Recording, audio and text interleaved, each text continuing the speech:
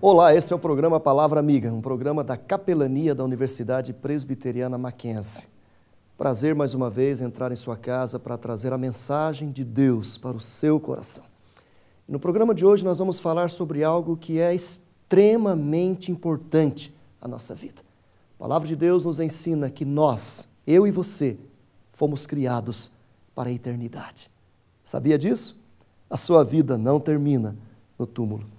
A gente fala sobre isso daqui a pouco. Eu volto já já.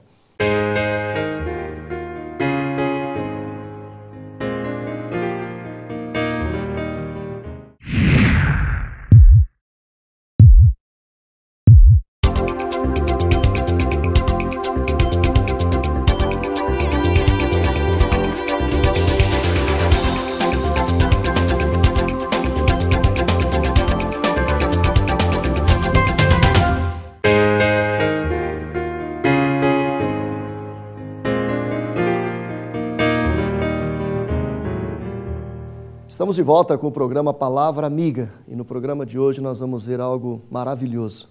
Você foi criado para ser eterno.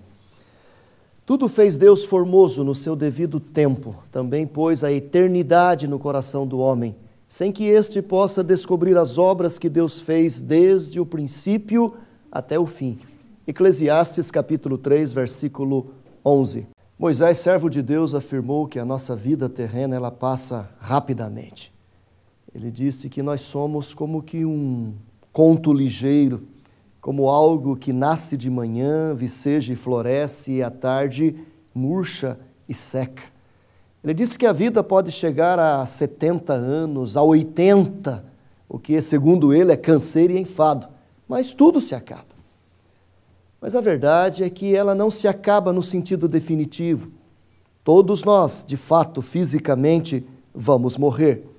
Contudo, a morte não é o fim. Quando uma criança é gestada no ventre de sua mãe, durante nove meses esta criança é ali formada. Os nove meses, comparado com os 40, 50, 60, 70 ou 100 anos que essa criança vai viver depois de nascida, é quase nada. Mas o momento chega em que a criança está totalmente formada e ela nasce, ela vem à luz e ela vai viver os seus 70, 80, 90 anos.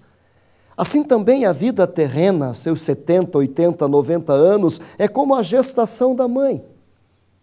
Nós vivemos aqui na terra e chega o momento em que a nossa vida termina e nós então estamos preparados para a eternidade. Quando o seu corpo tomba aqui na terra, a sua alma ela ascende para a presença de Deus. Você não termina, a sua existência não se acaba, ela continua. A Bíblia diz que Deus colocou a eternidade dentro de nós. Nós não morremos e acabamos como os demais animais, nós morremos e nos separamos. Morte é isso, é você se separar de si mesmo. O seu corpo se separa da sua alma, ou a sua alma se separa do seu corpo. A alma daqueles que acreditam em Cristo vão viver com Deus no céu enquanto o corpo aguarda a ressurreição do último dia. Mas se você não entregou sua vida para Jesus ainda, e se Jesus ainda não é o seu Senhor, o seu Salvador, se Ele não é o centro da sua existência, já parou para pensar nisso? Já parou para pensar o que significa viver toda uma eternidade no sofrimento? Pois a Bíblia diz que aqueles que não têm Jesus vão para o inferno e depois, no dia da ressurreição, sua alma e corpo serão unidos e serão lançados no lago que arde com fogo e enxofre. Já pensou viver uma eternidade de sofrimento?